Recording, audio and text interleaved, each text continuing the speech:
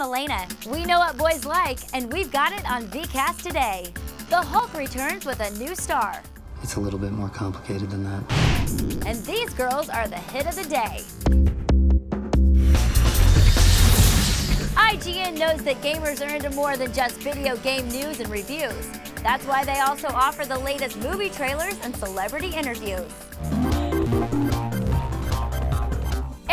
Bana had his turn as the Hulk in Ang Lee's 2003 blockbuster of the same name. Now acclaimed actor Edward Norton is going green in this summer's The Incredible Hulk. I don't want to control it. I want to get rid of it. Norton plays Bruce Banner, whose exposure to gamma rays turns him into the famous green-eyed monster. Another film that's bound to break box office records this summer is The Chronicles of Narnia Prince Caspian.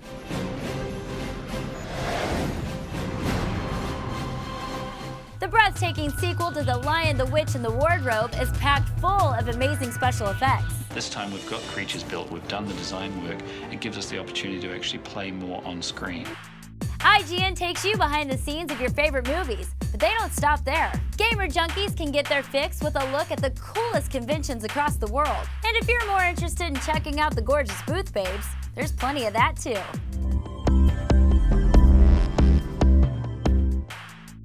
IGN is your one-stop shop for games, cheats, movies, and more.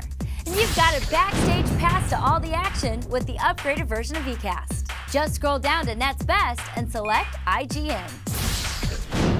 We're taking you out to the ball game tomorrow on VCast Today with the best baseball coverage from Fox Sports. He could be, in time, a star in the major leagues. That's all for VCast Today, where you're just one of the guys.